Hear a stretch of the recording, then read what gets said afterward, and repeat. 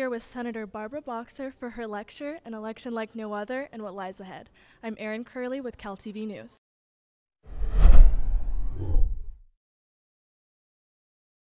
This school year, Senator Barbara Boxer donated two decades worth of her congressional papers to the Bancroft Library at UC Berkeley. She also kicked off the new Barbara Boxer Lecture Series, an annual event focusing on women in leadership. Our nation has struggled mightily with civil rights, voting rights, battles over our environment, the rights of workers, the rights of immigrants. This constant creation of a more perfect union is not easy. It's two steps forward. It's one step back.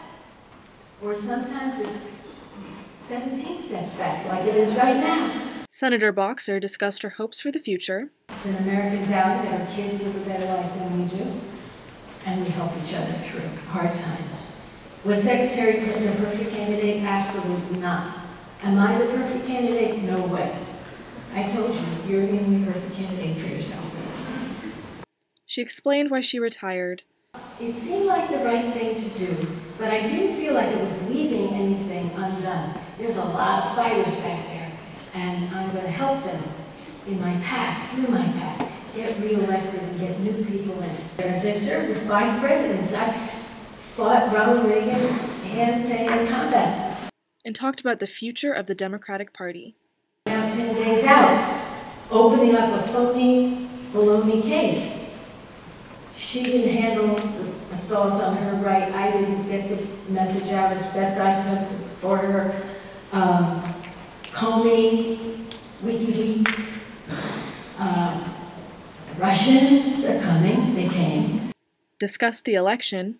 Trump was so outrageous. That's another reason people didn't vote. They thought he could never win. Instead, of course, we have a guy who insulted more than half the country.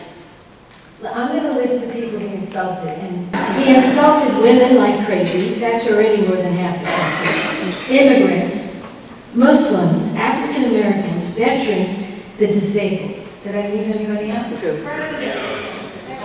President Obama, right? Absolutely.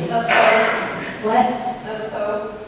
I want to say what Alicia Keys said. Does anyone remember basically what she said? She said, we are mothers, caregivers, activists, artists, entrepreneurs, doctors, leaders of industry and technology. Our potential is unlimited. And that described the marches all over the world. You can compromise on a bill, but never compromise on We marry up the Hillary message of standing together makes us strong, and the Bernie message of we got to fight for the rights of the middle class.